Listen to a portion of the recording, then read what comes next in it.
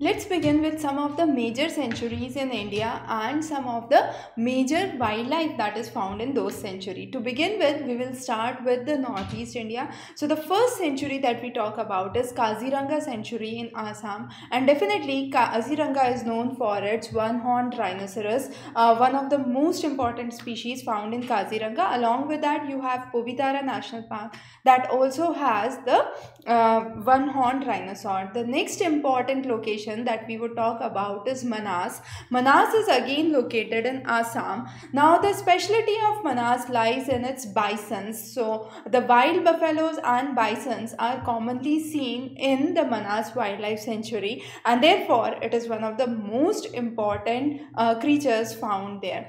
Coming on to the next important location in Gujarat is Gir forest and definitely it is known for its Gir lions, one of the most important species. Along with that you have cheetal, sambar and wild bears that are found in Gir forest. The regions of Junagadh and surrounding form the region of Gir forest.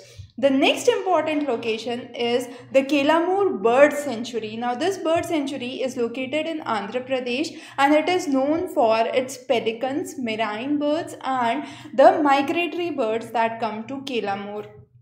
So Kelamoor Bird Sanctuary in Andhra Pradesh is one of the important locations for birds and pelicans.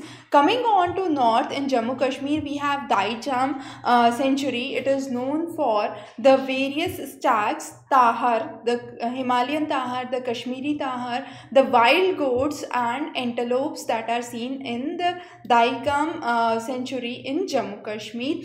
Coming on next is another important location which is Bandipur. Now Bandipur lies in the route between uh, Mysore and Ooty and this is where you have uh, elephants that are seen. Now elephants live in herds and then you have langurs which is a species of monkeys and then Indian bisons that are commonly seen in Bandipur National Park, the Bandipur Sanctuary in Karnataka. Then in the south in Kerala we have Periyar. Now Periyar is also known for the silent movement and therefore uh, we have two specialties here. One is the barking deer and the next is sambar. Uh, we also have a special species of birds which were slowly and gradually vanished from the forest areas.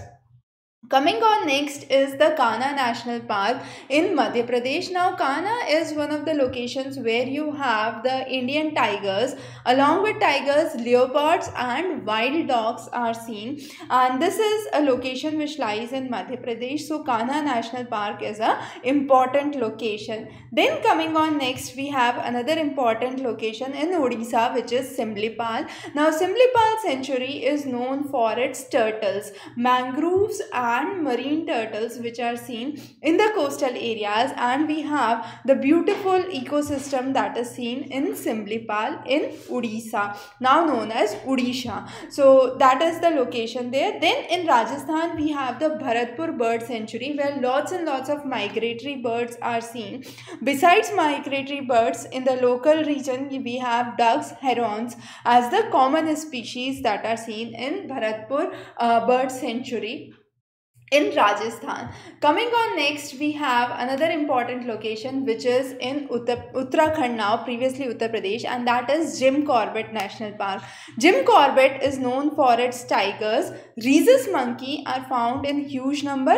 Besides that, similar to the Periyar uh, National Park, we have barking deer that is seen in Jim Corbett National Park. So, Jim Corbett, Uttarakhand is an important location. In West Bengal, we have Jaldapara Wildlife Sanctuary, which is again known for its one-horned rhinoceros. Uh, this is another important location after Kaziranga and Pobitara Sanctuary in Assam and it is known for its uh, one-horned rhinoceros. So these are some of the important locations that we have seen today. We would be covering many more such important locations in the upcoming lectures. Stay tuned. Have a wonderful day ahead.